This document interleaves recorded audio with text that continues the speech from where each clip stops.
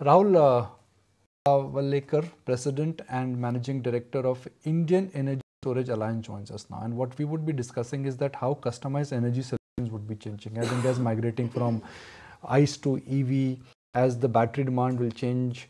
Pump storage is something which is going to be the future. Thermal versus renewable. There are a lot of interesting things which essentially happening in the battery storage. I'm just giving a context for our viewers here. Second, within battery, the technology is also changing. You know, from uh, the way semiconductors were, were how battery cells were made versus how future battery cells were made. India is still not Atmanirbhar when it comes to the energy storage and when it comes to the entire EV chain. And that's largely because in construction of a battery, lot of lithium and lot of rare materials are used, which where we don't have access to because in India, some of these rare materials have just been in a sense discovered and the real mining has not started. So at a time when the energy shifts are migrating, energy need is migrating, new technology is on our way, what would be the dominant uh, battery storage solution? So Rahul, I think the introduction itself was a question. I'm going to start with something what uh, Bill Gates said that you should markets always overestimate the rate of change in the short term and underestimate in the long term. Do you think the excitement in the entire battery storage industry is slightly overhyped? Very much uh, for bringing this uh, topic up. Uh, in fact, I feel that we are just at the cusp of a major revolution, and the excitement right now it is there. In fact, there is still early stage of the excitement. Right, if you see in last five years uh, around the globe, the manufacturing capacity has scaled up from under 500 gigawatt hour to more than 2000 gigawatt hour. And in India, we are just starting off on that pathway. Uh, we are expecting around 50 gigawatt hour of manufacturing capacity to come online uh, between now and 2027. And then it's it, it could scale up uh, to 150 gigawatt hour by 2030 and 500 plus gigawatt hour in 2035.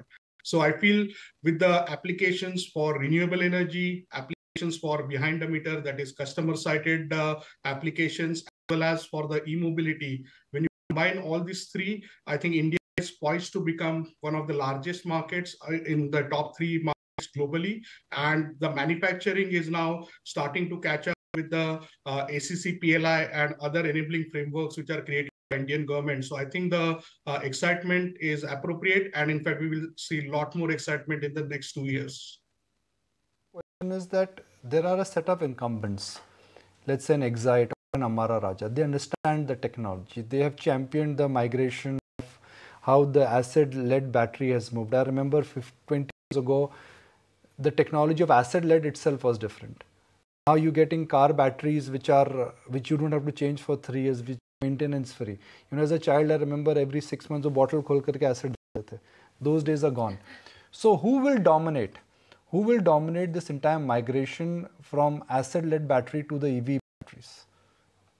So again, right now, since the market is going to be so and market is expanding so much, uh, I think there is an opportunity for multiple players to play in this ecosystem. Uh, there are global giants uh, such as LG, Samsung, uh, some of the Chinese leaders like CATL, BYD, uh, Japanese companies like Panasonic are already there. Uh, but then Indian companies led by Ola, Reliance, Exide, Amara Raja, as well as some of the new uh, companies coming up like Godi Energy are also looking at setting up manufacturing. And the pace at which the market is expected to grow, uh, the market can accommodate multiple uh, technologies. Right now, a lot of focus is on the lithium-ion battery technologies. Within lithium-ion, there are almost seven to eight different varieties of lithium-ion batteries. So it is not just one single type of technology. Uh, and plus, there is a work happening on next generation technologies such as sodium ion, metal air batteries, or uh, many other uh, permutation combinations between anode and cathode also tried out.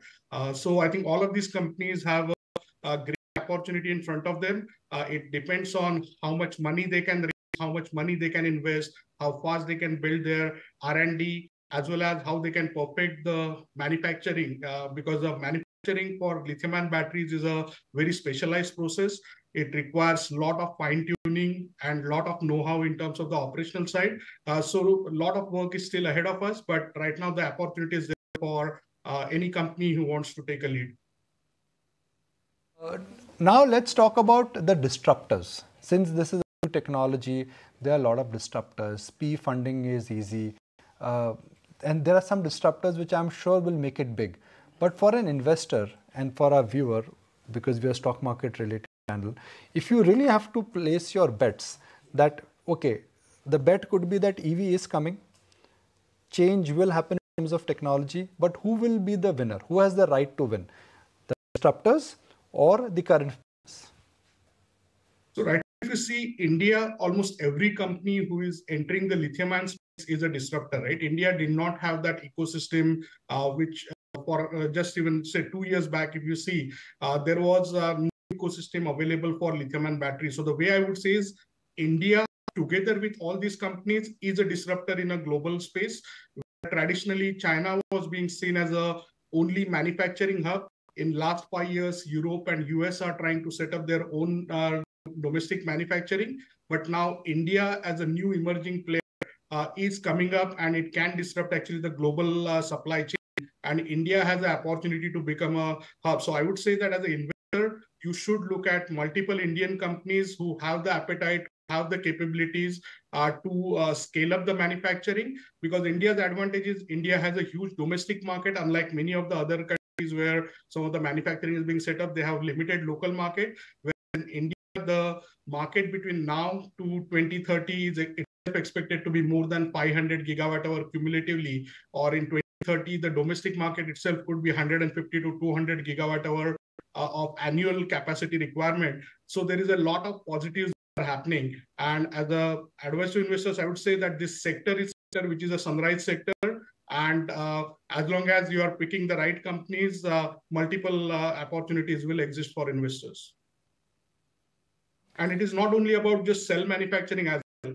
One of the key areas where as the India Energy Storage Alliance we are working on is creating the complete supply chain, not just for the domestic market, but also for the global industry.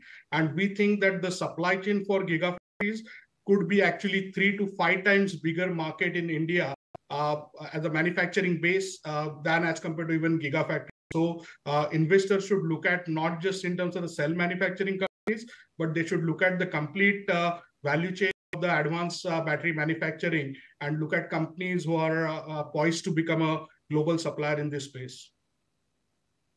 So if I have to ask Rahul the investor, who understands the battery understands the supply chain, if you have to bet on one company, as an investor based on your understanding, which is one company you worked on? It's not a stock tip, but your understanding of technology and everything.